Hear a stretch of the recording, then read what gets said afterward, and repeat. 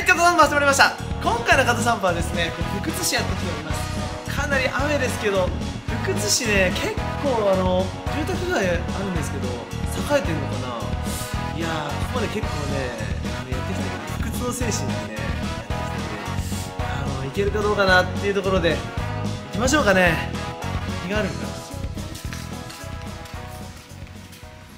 宮地岳神社到着しました、えーここはですねあの日本一でかいしめ縄それで日本一でかいしめ縄3トンあるらしいです。でこれはね毎年ねあの紐をこうほどいて下ろしてであの地域の人がわしゃわしゃ、ね、運んでこう行列を作るっていう祭りがあるんですけどでまた新しいしめ縄を締める。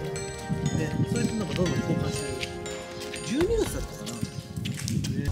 なんかねあの撫で牛っていうあのその部位を撫でるとその部位が治るって言われている牛がいるんですけどあのホームページの牛はこれぐらいだったんですよ。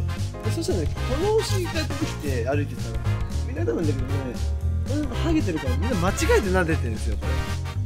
多 分これ撫で牛多分普通の牛なんですよこれ多分。撫で牛じゃなくて。これ。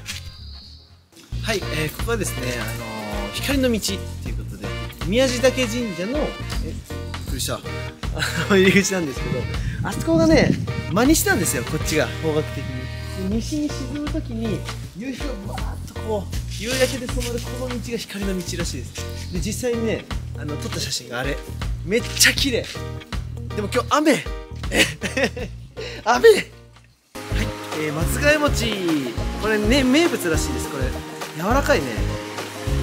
あれかな？噂のでんぷん粉かなこれ。いただきます。あいや米粉だな米粉うん。ま粒あんたっぷり。うん。おいしい。あお茶が欲しいね。はい、えー、福津市散歩させていただきました。やっぱ宮地岳神社っていうのがここがやっぱ有名ででしめ縄ね。でっかい日本一のしめ縄があるとあとは松貝餅とかねいろいろこう見どころはりましたね。あるかな。ありがとうございました。